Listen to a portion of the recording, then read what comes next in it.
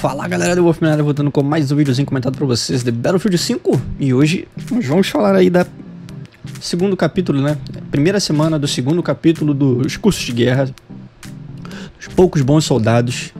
E a gente vai estar tá não só passando o, a primeira semana, como as outras semanas A gente vai estar tá dando uma olhada aqui por cima é, Do que a gente vai ter que fazer mais ou menos para liberar as recompensas e que recompensas serão? É, eu já mostrei, já falei das recompensas aqui, três das recompensas que a gente vai ter são três armas.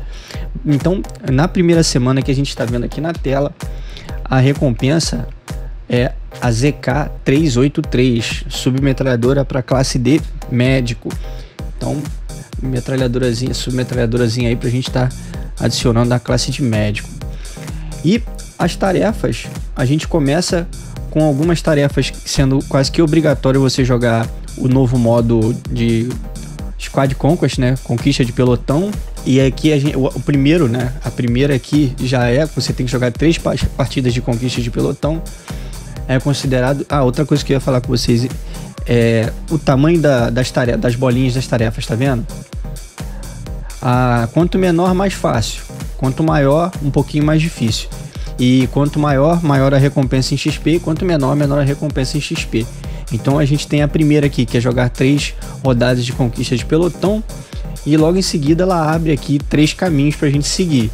Ah, o caminho de cima, teoricamente, é o mais fácil, sendo que de cima e o de baixo também, mas para começar, ah, quero começar pelo mais fácil. Então a linha de cima, que ali você é, faça cinco membros de pelotão ressurgirem perto de você. Então é easy. Em qualquer partida você faz isso mole. Não precisa nem ser no modo é, conquista de pelotão. É, no modo conquest, qualquer outro modo você consegue isso aqui fácil.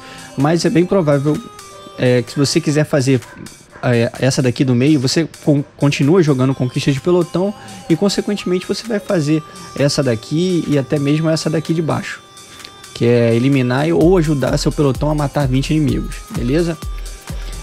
E aí a gente tem é, as outras tarefas, aqui a gente tem uma tarefa média, logo depois dessa uma tarefa média, realizar 10 eliminações defensivas e aqui embaixo, na linha de baixo, a gente tem uma tarefa fácil, que é construir 15 fortificações em áreas controladas, é moleza. Eu como já fiz a parte do meio, que é fazer 30 mil é, 15 mil pontos na conquista de pelotão, eu já abri praticamente as três linhas. Então eu já tô a caminho já da, da submetralhadora. Só faltando uma tarefa média, que é, que é reanimar 10 colegas de pelotão. E essa daqui, que é considerada uma tarefa um pouco mais difícil, que é vencer uma conquista, uma rodada de conquista. Aí a gente vai liberar a, a arma. E essa daqui é como se fosse. E essa aqui embaixo é um bônusinho que a gente faz se quiser, beleza? Lembrando que todo XP que você ganha aqui, ele conta aqui,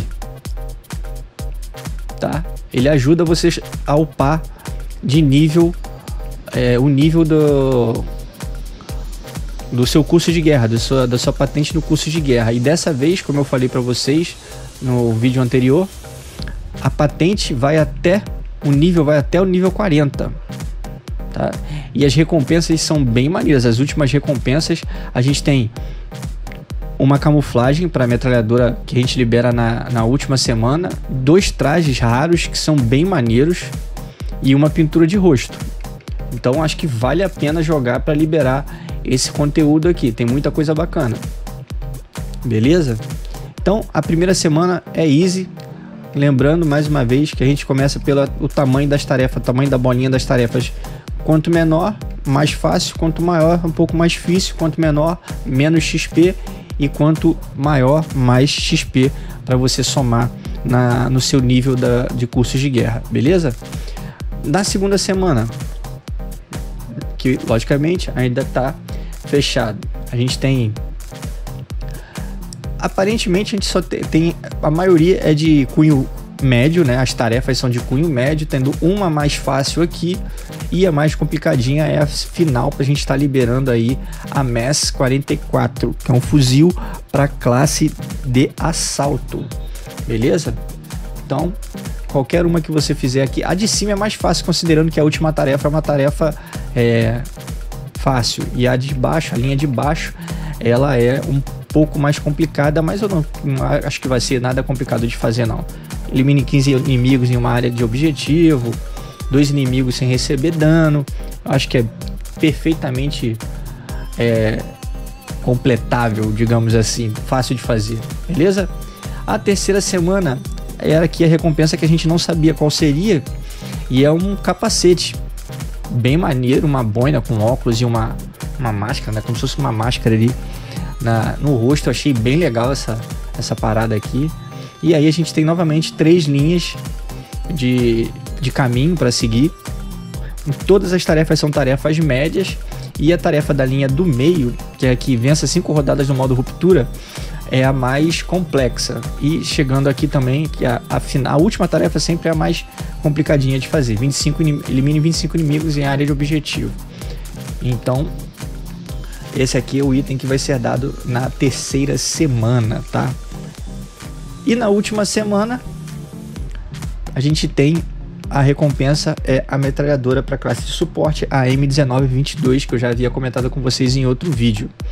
Então a gente tem aí as recompensas medianas, começa com uma fácil, o restante aqui até chegar na, nessa parte do meio são médias, aqui no meio a gente tem uma fácil, duas médias. E a última que é a mais complexa, que é obtenha 25 mil pontos em linhas de frente. Então, é, as semanas é, dos cursos de guerra, né, eles praticamente obrigam você a jogar alguns modos de jogo para você estar tá liberando a, as recompensas. E daqui em diante, a gente não tem nenhuma informação ainda, porque é um conteúdo que virá mais para frente. E assim que a gente tiver alguma informação, logicamente eu vou estar tá trazendo aqui para vocês.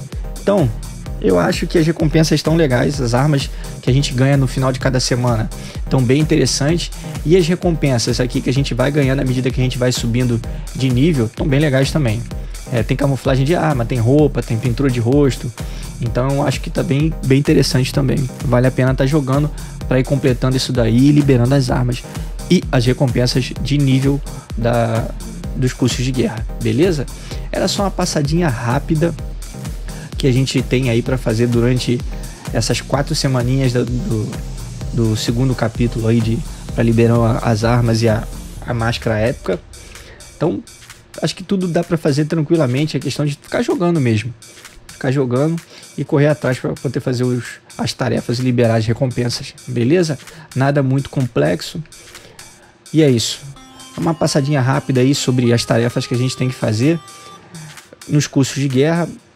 E é isso. Se curtiu o vídeo, deixa um like, compartilha aí com os amigos. Se não for inscrito no canal, se inscreve aí para ver mais vídeos como esse. É, acompanhe aqui nas redes sociais. E é isso. Eu vou indo nessa. Valeu, um abraço, até mais. Falou, fui!